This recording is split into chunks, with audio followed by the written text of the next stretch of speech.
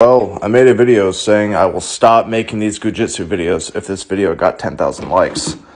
That video is now at 17,000 likes, so obviously you guys want me to stop with the Gujitsu videos. However, I will let you guys redeem yourselves if you want more content.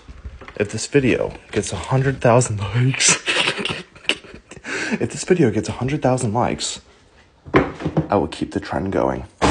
And yes, that goes for you too, Libran.